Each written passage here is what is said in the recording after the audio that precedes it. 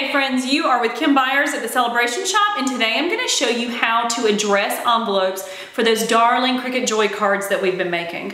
So I'm also going to show you how to draw little um, designs and details on your envelope as well. So let's hop over to Cricut Design Space, I'll show you what we're going to do and then we'll hit the craft table. And by the way, if you like what I'm doing here today, I hope that you will give me a thumbs up and I would love for you to join me every week for new videos. Just hit that subscribe button.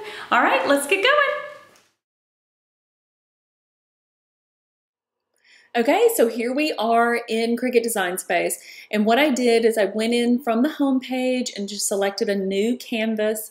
And once I got to my canvas, I went ahead and set up my very first envelope. So let me show you how to do that step by step. So what we want to do is go into shapes.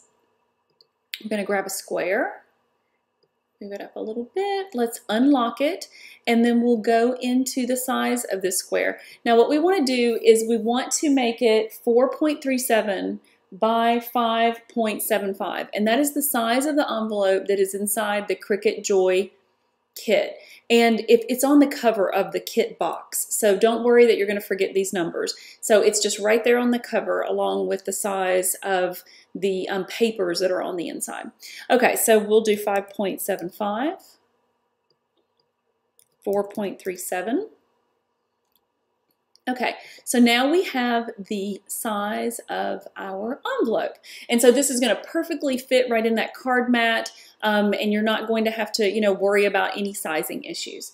Okay, so what I like to do is go up and turn it white. And I am going to relock it just so we don't accidentally move anything around. Now, the key is here, guys, you're not going to cut this square or this rectangle. So when we get done placing all of our information on our um, envelope, we're going to actually go over into layers and we are going to hide or turn off that square. So, but for now, we'll just turn it back on. Um, and what we want to do now is we want to think about what kind of font we want to use. There are tons of fonts available in Cricut Design Space. Um, and if you're using it from your desktop, you're able to use fonts that are on your desktop as well. So what I personally chose were very simple fonts that are easily, you know, are easy to read. If you want to do really fun, whimsical, you know, obviously that's up to you. You will have to go into um, the fonts and just adjust the letter spacing a little bit, but that's not a big deal. Um, so let's go and choose text. And I ended up, if you hop over into layers with me real quick, it tells you the name of the font that you used. So when I did my original setup, I used a font called Straight and Simple. So if we go up into top. Now, one thing I will tell you when you're searching for fonts, use this filter. Go over into filter and you want to select writing. It will save you a lot of heartache. Not every font in Cricut Design Space is good for, or will allow you to write with it. Um, so what you want to do is you want to do writing and then see all of the fonts that are now up, they have the writing feature in them. Straight and simple. Okay, so we're going to open up a text box and I'm just going to start typing your favorite, oops, I spell favorite right, sister. Okay, just so you can see kind of how this is going to look. And then what you do, once you have that, and now that you have your envelope, you're going to be able to go up and say, okay, well, that's way too big. So how about 25? Yes, that's going to work. And so you can somewhat place it where you think that it should be. Now, here's, don't panic too much about it being right at the edge or that kind of thing. Get it where you think it should be. And when we finish this design, we're going to turn off this rectangle and we are going to attach all of this together so that when it goes to mat, none of it shifts or moves. So don't fret too much if you think you're a little close to here, a little close to here, because you're going to attach everything, it's going to be all together, and then when you take it over to mat, you can slightly adjust it on the mat. Okay, so now that I've closed out of that window, I just want to show you, so you have your return address, and then you have your address, and if you double click on this, then I can take you up and you can see that under more, this is where you do alignment. Um, so my return address is left justified and then I've centered this piece of the address. And the other things that you can do here are line spacing. So if you feel like this needs to be further apart depending on your font or closer together, um, then you can do line spacing right there. And then um, in that same vein, if you had a curly like font and you wanted to move the letters closer together, you could do that right here with letter spacing. So this would actually, decreasing that would pull your letters closer together. So you have tons of options to kind of, you know, make it perfect and beautiful. Um, and the nice thing is, is once you set this up, if you're doing invitations or something, you don't have to change, you know, everything except for um, the to address, right? Now, for the fun part. So now you have your return address and you have your address, and now you want to put some sort of fun element on it. This is actually um, an image. These two, both of these are separate images over in images. And this is one of the reasons, guys, that if you don't have Cricut Access, I love having Cricut Access because I can go in and play around with and use all these different pieces and I don't feel guilty about like buying them onesie or twosie. Like I can really craft and have fun without worrying about, you know, the just spending money each time. I'm just I I use it a lot. I don't know about you guys, but if you craft a lot, it really kind of gives you that crafter's freedom. Okay, so let's go over into images and what I did is I, I searched balloons. It brings up all these different kinds of balloons, but what you should do is go into the left-hand side into art type and choose draw only. And so now it's going to sort out all the ones um, that you don't want. And I chose this balloon, but there's tons of other fun things in here too. So it just depends on what you want. Like if it's a Valentine thing or if it's a love note or whatever you're doing, like this is really fun. I thought this was cool because not only does it have the outline of the balloon, like you can actually color in the balloon with your marker. Um, okay, and so then we would insert that into, and then what I would recommend is taking off the cut. There is an outline cut there, so like if you were crafting it and putting it on something else, you would be able to have that outline background shape. But since we're actually just drawing it straight onto the envelope, we're just going to turn that off. Okay, so I'm actually going to delete that because we already have it. And then I am using a blue marker um, that is one of the Joy markers. And so I have turned it blue. Let's just make sure we're grabbing the right one. There we go.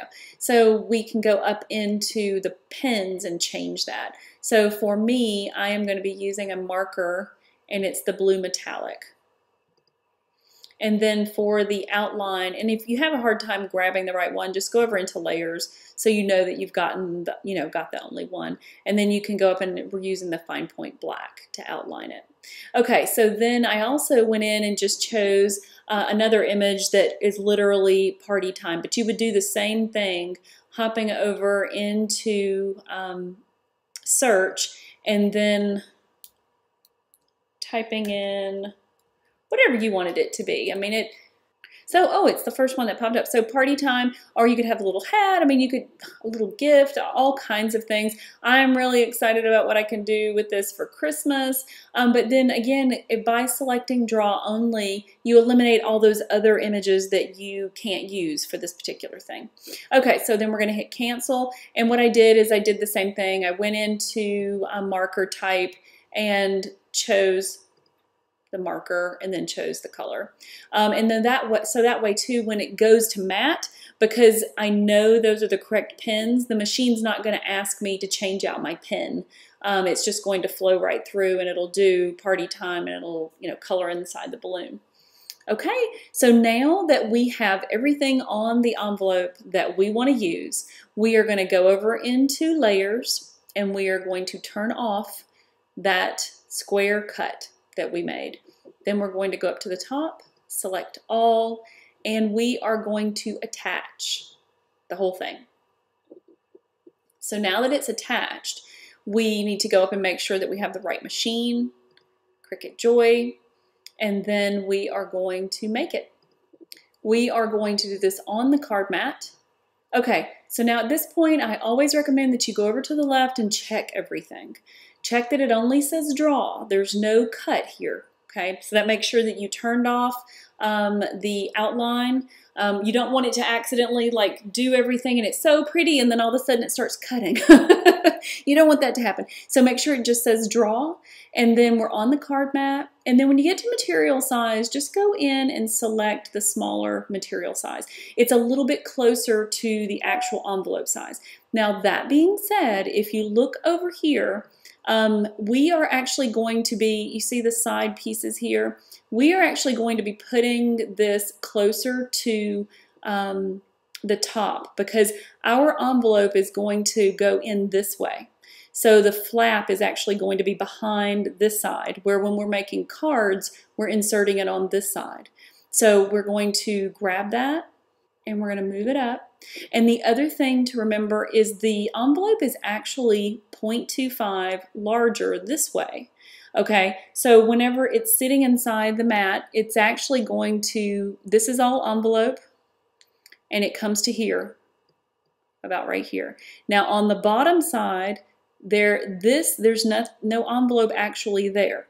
Okay, so if you don't move it up as far as you can, and that's as far as it's going to allow you, right up to the red line, then you're going to have party times going to be really, really close to the bottom. Okay, so, and you can even move it over a little bit because again, um, this is part of the actual envelope, right? So you got white space here, you've got white space here, and you will have even more over here than you can actually see. And then this will not be super close, but it'll be closer to the bottom. Um, so with that said, I think we're ready to continue. So it's checking to make sure that our joy is connected. And now we can set our material. So the best thing to do is just choose the insert cardstock um, because again, we're writing on it. You're not actually printing, I mean, cutting anything, so you're not so much worried about pressure. So I think it's best just to use the insert card.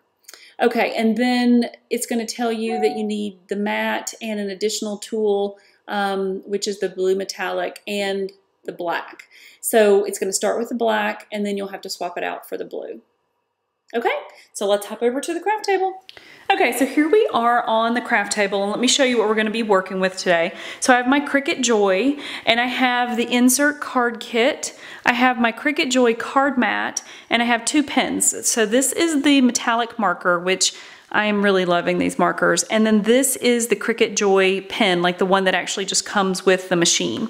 Um, and there are tons of different colors and things um, that you can get to go with the Cricut Joy, but this is what I'm gonna use today. Okay, so the first thing that I wanna do is just show you the envelopes. And the, I took these out of this kit. And so the sizing I was talking about is just right here on the cover of the kit. So don't worry again that you're going to forget what that was. So we're gonna take an envelope I'm going to take our Joy mat and we're just going to take off that protective film. And what we want to do is we want to take the envelope and this piece, this flap, we're going to insert it like this in the mat and we're going to butt it right up against the top of that mat. Now if you've not used the mat before, the mat's slightly sticky and that's good so it's going to hold it in place and then we're just going to go ahead and feed that into our Cricut Joy.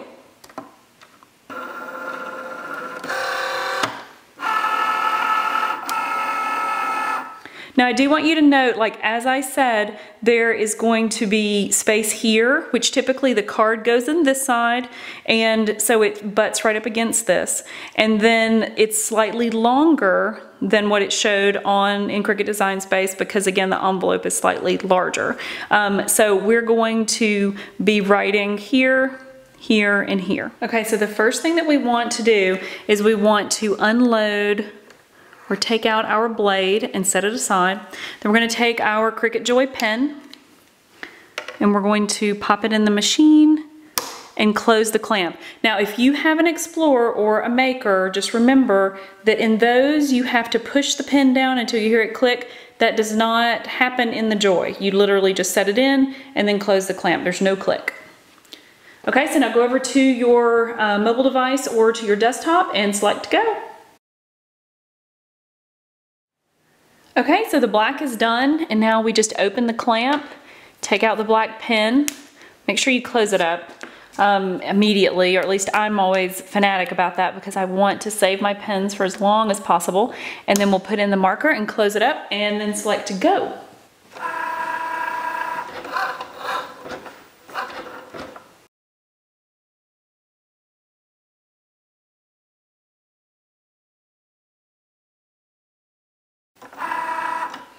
that cute? It just looks so fun. I'm so excited about being able to use this feature for all of my party invitations and Christmas. Okay, so now we open the clamp and we take out the pin, close it up, and then we just um, unload the mat and we're done. And look how great that turned out. Move our joy out of the way and literally you just take it off the mat and there you have a perfect envelope. Okay, so those turned out really well, right? So I hope that you will try this um, and you will use all the different pens and things. I actually want to get some additional pen colors to what I have now. The blacks are beautiful, but I am in love with the markers, which is the one that I used for the drawing. Um, and so I hope you like what we did here today. And if you did, give me a thumbs up and make sure you hit that subscribe button so you join me every week for new videos. And all of the things that we used today, I've linked up down below so you can hop down and check those out. All right, guys, see you next time.